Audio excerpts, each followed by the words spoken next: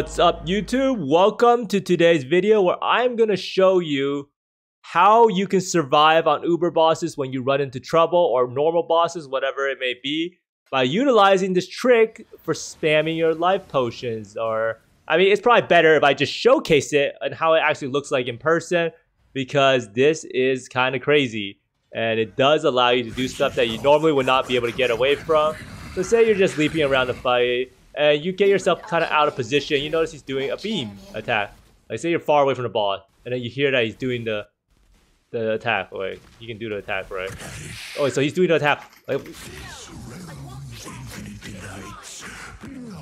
wow, I died. Okay, so I'm not gonna cut that out because stuff happens when you record it. It's always nice to show the failures. Okay, so let's go see right here. So I didn't have the reduce effect of shock. So let's actually do this again. Oh, so he's doing the account. What? Okay, he literally just one-shotted me. This guy is a beast. So sometimes it doesn't work, right? No, it will work. I just, oh wait, let's go.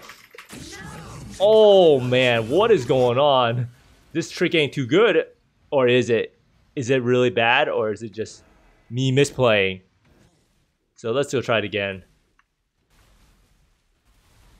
Oh, yeah, when is he gonna do his ability? Yeah.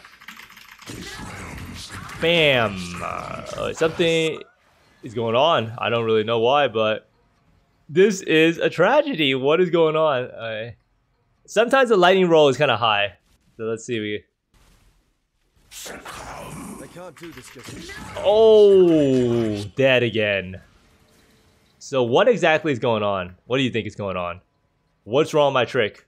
Why is it not working out? Well, I can tell you why. We don't have Fortify up. Oh, look at that. That's exactly how you do it. So no Fortify up, that's why it happens. So let's see. Oh, but you can see here, if you had the shock effect, will we die? Well, let's try it. Oh no, I just wasted a full set. What even happened? All right, let's do another one. But this trick is absolutely game changing and it's been used in the gauntlet a bunch and people have abused this. So what we can do here is we can craft on reduced effective shock, but we actually don't have that. So that's actually kind of hard to do. But basically, the reason we're dying is because we are getting shocked by the boss. But I just wanted to showcase it a little bit. It's a little bit fun to see what exactly happens when you get completely owned. So right here, let's go inspect out some damage nodes because I don't really know how to get reduced effective shock at the moment. So we're just gonna do this right here, which is oh that's some bad pathing. All right, see, it's not too bad. So let's get a chance to avoid. Oh wait, this is reduced effective shock. Well, that ain't gonna work. But Let's go just show it again. I mean, I'm sure... We, we won't die, right? So... Easy game, right? Oh, got him. Easy, right? So why does this actually happen? So the reason why this can happen is because we can spam our flask as many times as we want. And we can preemptively adjust easy, right? So whenever you get out of position, you just spam your flask and you'll be fine. You don't need to worry about the die beam anymore. The die beam is, in fact, your bitch. You can't die to the die beam. Alright, well, that's going to be enough of a showcase. But this this trick is one of the most OP bossing tricks you could ever imagine. Now, a lot of people might be wondering why do so many people SSF Hardcore end up bossing with three or four life flasks? And this is right here, Ben, the best player in PoE and he's practicing for Uber Sirus, and you notice he actually has three life flasks. Now, these three life flasks are a seething divine life flask, a seething hollow life flask, and a seething divine life flask. So why is he using so many seething life flasks? So when I was trying to do the Ubers on my Bone Shatter character, I pretty much ran three life flasks for almost every fight because they are absolutely invaluable when things get rough. If you saw it in my video, it, I was saved countless times. Well, sometimes. But a lot of times I was saved just by spamming the life flask away, and sometimes you're just out of position or you kind of want to just maximize your damage. Now, what exactly do you want to roll on these life flasks? Well, you want your life flasks to have only one prefix mod and no suffix mod. So having no suffix mod means that you can spam the life flask without having it being used. Now, the prefix mod we want to use is seething. Now, the reason behind this is it grants amount 66% reduce amount recover instant recovery. Now, the trick with this is that we are unable to use this because our life is full. So we can preemptively spam the flask before we take damage. And as soon as any tick of damage comes in, we're able to instantly pot ourselves up to full. Now, if we use a flask of a suffix on it, say I put this here, you can see it's actually getting used.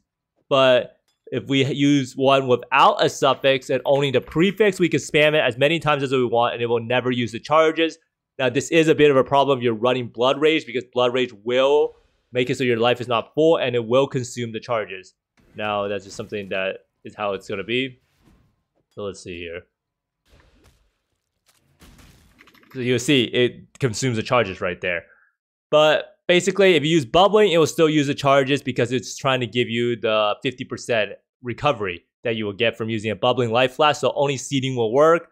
Now you can also use the Harvest Benchcraft to gain extra charges. I did do that earlier. So I used it on this one. You can see it has plus 87 the maximum charges. It's kind of expensive, but if you really want to do a fight, it is absolutely invaluable. It will give you 10 charges, which is pretty much 10k HP. And if you have three of those flasks, that's 30k extra HP on your disposal at any time. Now, you might be wondering, how exactly do you sustain these flask charges? Well, there's three different ways. One is the flask mastery that you can use. It's life flask gain one charge every three seconds. Then there's also the minor pantheon that ma- makes it so you gain three charges every three seconds if you haven't used the life recently, a life flask recently. And there's also this node right here, which if you path by Mage Bane, is not too bad to take. Profane Chemistry, life flask gain one charge every three seconds. So what this means is that your life charges, you could potentially get up to five charges every three seconds. So that means when you're doing the boss fight, for instance, you end up spamming all your flasks, you will notice that you'll get the flask back over time. So by the time we tap back in, you'll see that most of the flask charges will probably be full. Now, is extremely important because there's a lot of downtime on a lot of boss fights. There's a lot of intermissions. So when we come back to the fight, you'll see that the fight, the charges will be actually getting refilled. And you can see right here, it's already going back up slowly. Now, how do we actually take advantage of this? Now, there's a lot of different ways to take advantage of this. And as you can see here in the earlier example, what I did was that we can end up doing this to tank the Maven Sirus Die Beam. We can use this to tank the Maven Cascade of Pain. We can use this to spam when we're running into a lot of meteors on the Searing Exarch Ball Phase. For instance, when we're using Arctic Armor, for instance, right?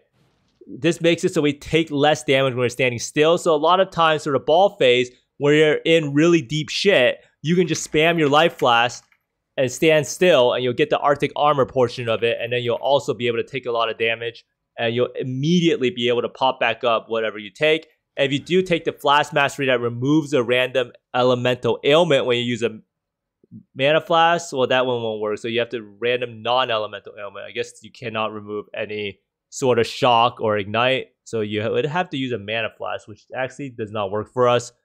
But a lot of these times, these hits are something that's done in multi multiple successions. As you can see here from the Parish Die Beam, for instance, you will see that it's not exactly one hit and it's actually a lot of multiple hits. So let's go showcase it one more time in all of its glory and why this is actually kind of important.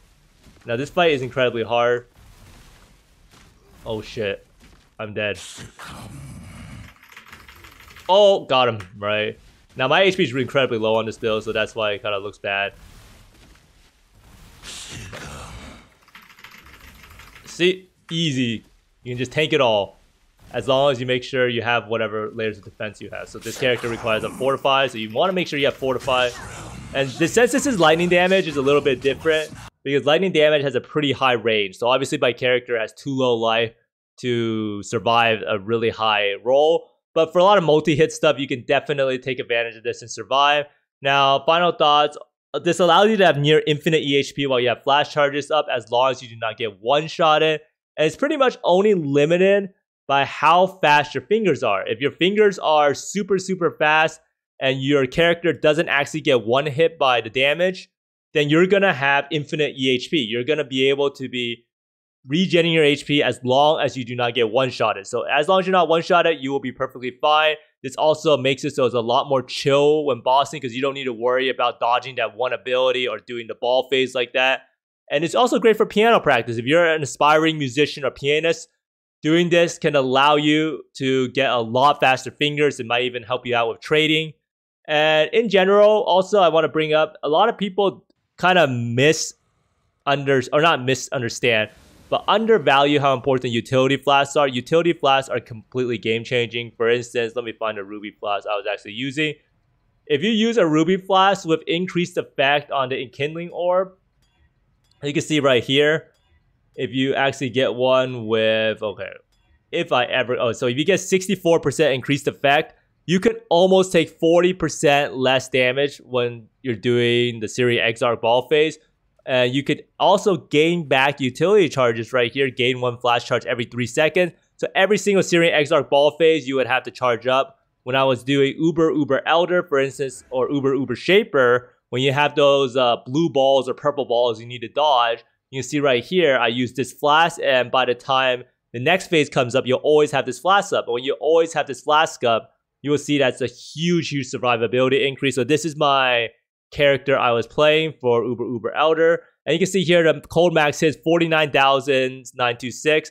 If you remove that, it's 33,450. So when you turn on this flask, it's a 50% increase in your maximum hit. So that's actually very, very, very good. So overall, I hope this has helped you out and gave you a little bit of a laugh. Obviously, I was gonna die if I didn't if I got shocked, right? So it is an extremely game changing, and I think it honestly deserves to be nerfed or changed in some way because it actually trivializes a lot of boss fights, especially if your character is tankier and doesn't get one shot. It is a complete game changer. So running a flask setup like this, it might seem troll at first, but it's actually the right move to do in a lot of fights, especially with how bad degens are for many of the hardest Uber boss fights. But thanks for watching, everyone. I hope you find more mirrors, exalted orbs, and divines than me. And see you next time. Bye.